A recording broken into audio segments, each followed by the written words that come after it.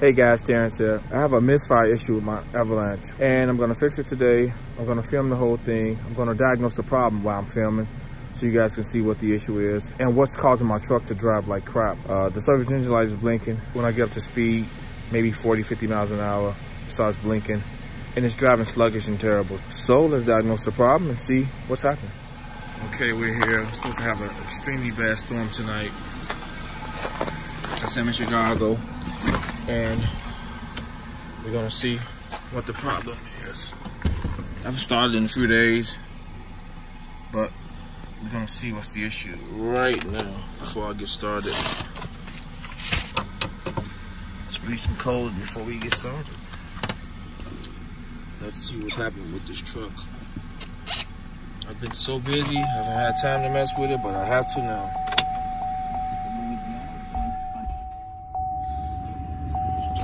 Forward. Let's turn this down.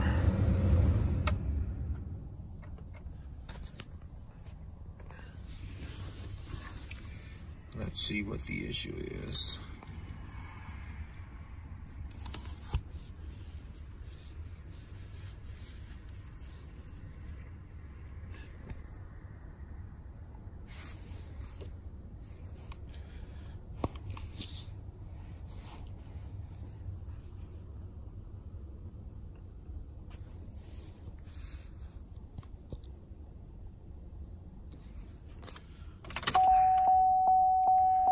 10 seconds. Just wait. Let's see what's going on. Focused. I don't know why I didn't read the first time. Five, four, three, two, one.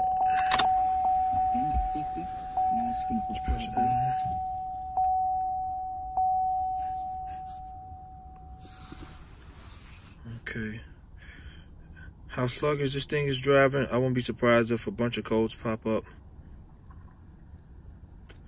Let's go back. 103. This is the problem.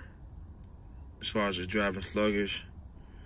Let's see. The other codes has to be related, probably. Six codes popping up. I don't know if this is due to the vehicle driving as sluggish as it's driving well, I don't know. I need to fix the mix first, and then we'll go from there because it wasn't throwing any codes at first. But these are emissions related codes, so this probably is not gonna. The me fixing the mix fixing the misfire won't probably clear these codes. But let's see why cylinder three is misfire when I just changed the wires uh, the ignition coils, and I just changed all spark plugs to iridium on this thing. So let's see what the issue is. My only guess is the fuel injector. And I have some new injectors for this truck too. So fingers crossed. Oh, another thing, I don't want to. I want to keep it cold since I'm working on it. That's why I didn't start it. As you guys can see, I just changed all these coils and wires and spark plugs uh, about maybe four months ago. So I'm guessing. This is one, three, five, seven. Of course, the other side is the even numbers. So this one is where I'm getting the issue at. I'm thinking this second injector is bad. The issue lies here or here. It shouldn't lie here. And I'm gonna find out. I'm gonna plug and see so I will start it for a second and I'm gonna unplug each one to see if the, the tune of the engine changes. To see if, I just think the injector's bad. I really do, for some reason. It'll suck if it's this coil, you know it's an aftermarket coil. I wouldn't be shocked though, wouldn't be surprised. So, let me hook my phone up on my little tripod and we're gonna unplug each one to see what happens. There's a gray locking tab on top of this. Get some pliers and pull it off for the injector. Just getting everything set.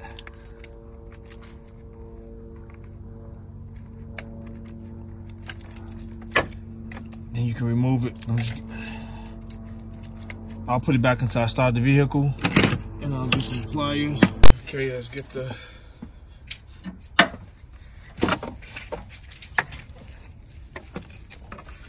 coil ready to pop off. Okay. All right, we're gonna do one at a time and see if the tune of the engine changes.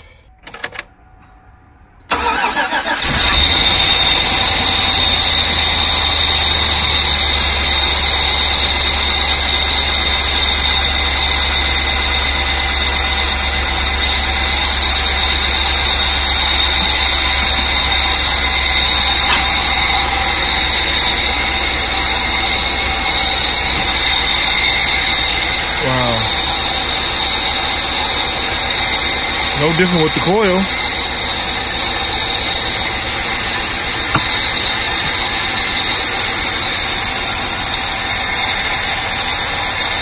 That's running bad too.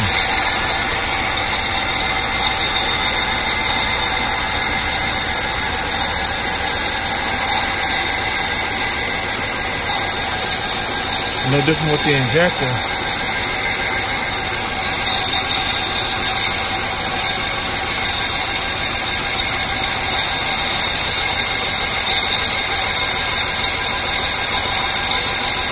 Know I can swap the coil out. They give me a better indication as to which one, if the coil is bad or not.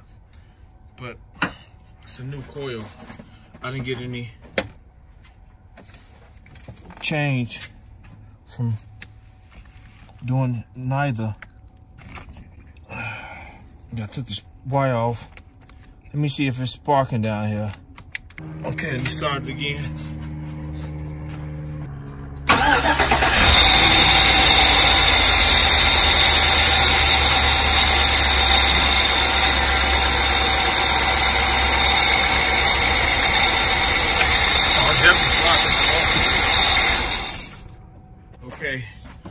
We found out the issue. Yeah, if you ever do that, make sure you get some rubber gloves on, cause that thing will shock the life out of you.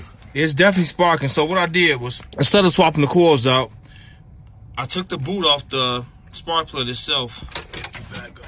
I took the boot off the spark plug and just let it hang down there.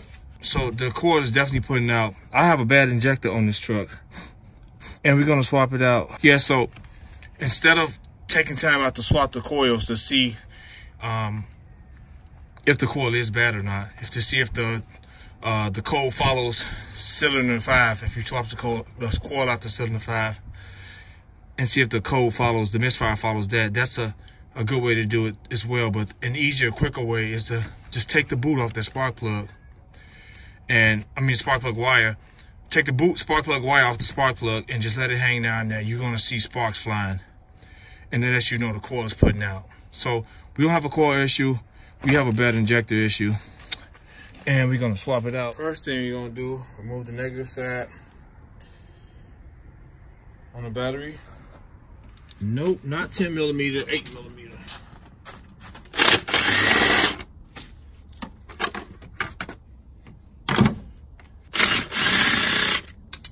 The frill line is also 8 millimeter.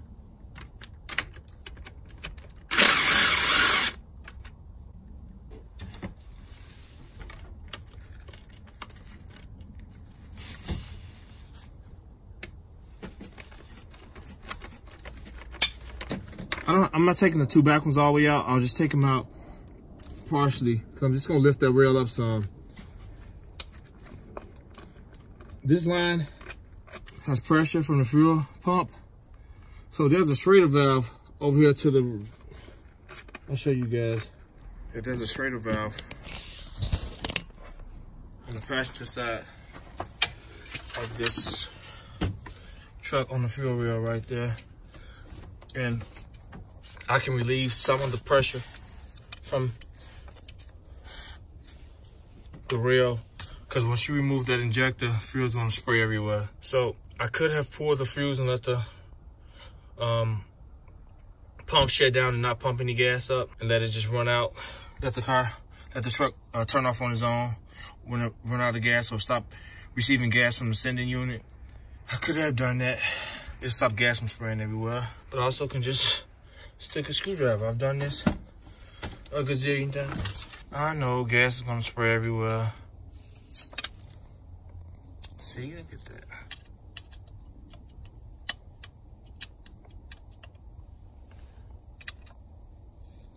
Wasn't much, just a little skirt to leave that pressure.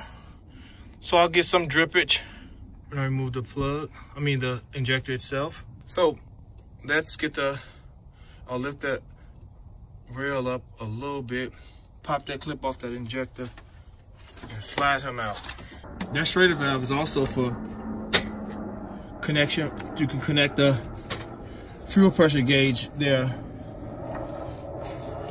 to get fuel pressure readings. So there's a metal clip here. I'm just gonna pull it forward.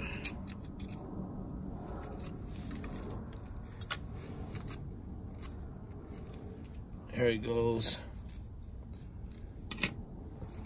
There's a new one on the fuel injector, so I don't need it, but I'll just keep it.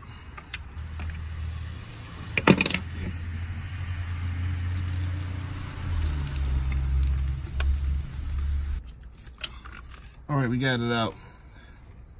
And we got a little gas leakage. Just a little bit. It's cold. Okay, we got the injector out.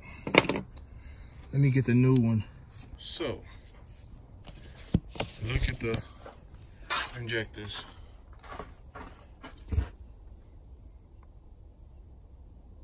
Man, this sucks.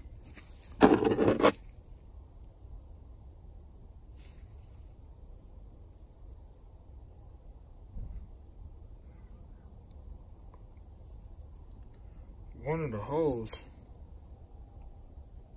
look clogged. I don't know. Has 40 has two. All right, let me see what I can do. I may have an injector for this truck. Let me look. I'll be back in a second. Back. Truck is running since I contacted the people that sent me the wrong part and they're sending me the new part, it won't be here for a few days. Um, I decided to use carbon coat cleaner and I'm um, cleaning the injector out. Uh, I put it back in and it works perfect. But not sure how long it's gonna last, but I took it clean and you can see it's running smooth. But no misfire anymore. not sure how, how long it's gonna last though, so kind of keep an eye on it. But I just want to show that that I use the car control cleaner. I hate I didn't show me cleaning it, but I just sprayed down into the injector. I put the injector on my vice, I put it on something and just spray down in, into it. Let the carb and choke cleaner sit in there and let it sift through on its own. And a couple minutes later, put it in and stuff running back perfect. So I'm not sure how long that's gonna last, but it took a cleaning to work just as it was before I started driving sluggish. So I'm gonna monitor for the next couple days and see how it turns out. I'll leave the top off for right now. I'm driving like this. And uh, we'll go from there. So stay tuned. Okay guys, since I didn't film, let me clean the injector. I use the carb cleaner. This is for demonstrational purposes only. I found an old injector. Just spray down in the hole. This is exactly what I did to the injector on the Avalanche. I let it sit for a couple minutes. But I let I kept spraying it and I let some sit in there. And after a few minutes I kind of blew through it. Of course I put a cloth over it and blew through it. Make sure it's cleared out. I sprayed the back part. So it's different in this one, but same setup, same cleaning process. Just want to show you guys since I didn't film it. And I like to be critical. I'm very detailed with my videos. And I left that detailed out because I didn't think it was gonna work. So I just clamped it before I installed it, before I reinstalled it until the new one comes. So we're gonna see how that plays out in the next few days. And I'll be back in a second with the update and finish this video. Okay guys, the injector came, the new injector came. Uh, this is what I'm up against today. Freezing ice everywhere.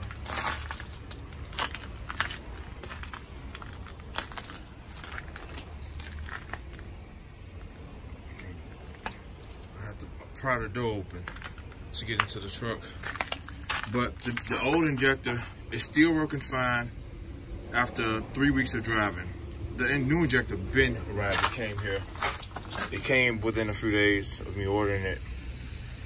And, but it's been driving well, still running good now. However, a few days ago, it went back to misfiring and the code popped up, uh, cylinder three once again, misfire on cylinder three. So to avoid that, I don't want to keep uh, going back and forth with this thing misfiring. I'm just going to replace the uh, the injector and just put everything back together so I don't have to worry about it anymore. So, let's get started. I'll put the link in the description box for this particular injector because they are expensive.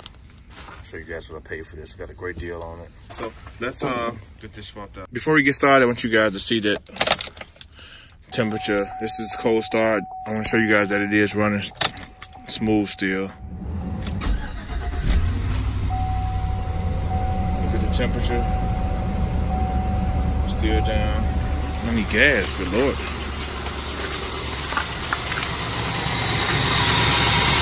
It's running perfect. So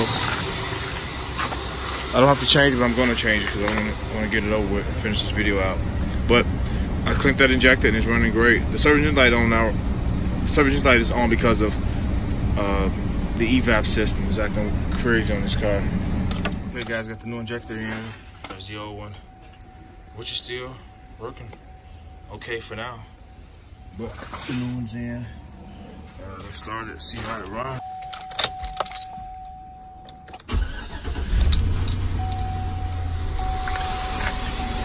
Seems good.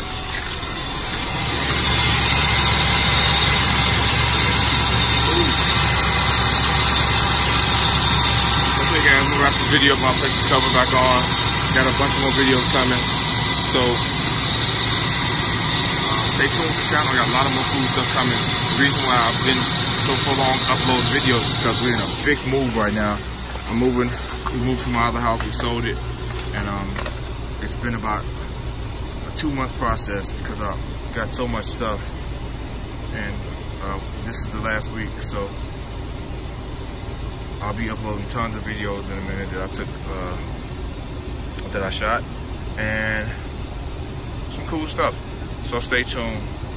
But if you like the video if you found it helpful subscribe to the channel. Terence and